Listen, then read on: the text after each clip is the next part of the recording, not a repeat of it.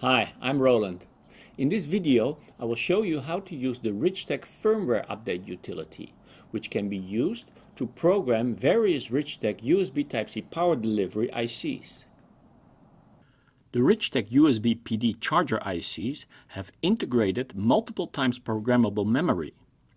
You can reprogram the ICs to get different functionality for the charger application. To program these ICs, you can use the Richtek firmware update fixture board. The programming of the RTQ7880 USB PD and buck boost controller MTP is done via its slave I2C bus.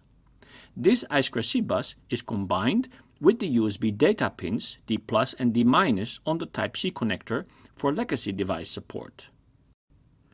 During development, it is most convenient to reserve 5 pins on the PCB that connect to the IC I2C bus, GPIO 4, VDD and ground.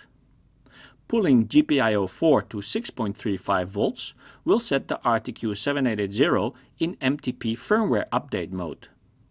I will show you how to program via these 5 pins. The firmware update fixture board has 5 pin connectors plus cables to connect it to the 5 pins on the charger application board. For this programming mode, the 4 dip switches on the programming board must be in the on position.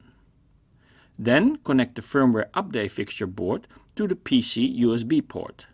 The charger application board is now powered via the USB bus, so no external supply is needed. Then run the Richtek Universal Programming Tool utility and then click Auto Detect. The software will check the IC revision code to make sure that the firmware will match the IC revision. Now you can click Load and browse to a new firmware.rrf file. We select a 45 watt charger application firmware.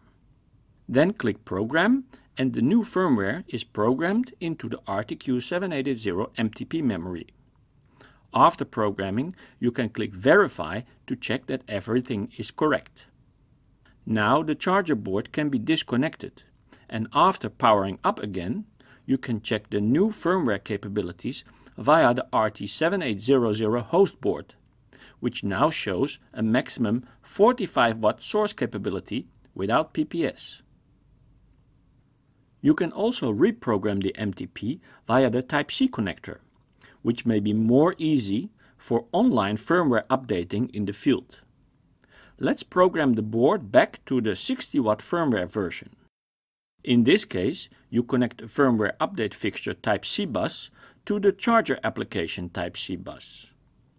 The programming will now go via the D plus and D minus lines, which are also connected to the RTQ7880 slave I2C bus. In this mode, the programmer board dip switches need to be set as following 1 and 4 off and 2 and 3 on. The RTQ7880 will check the D plus and D minus pins for specific I2C activity during power on. If the special I2C signals are detected, it will switch into programming mode. If not, the D plus and D minus lines will be used to detect BC 1.2 and other legacy device smartphones.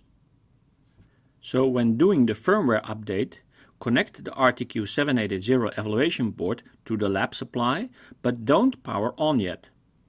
Then we will run the universal firmware update utility and we select RT7880 online.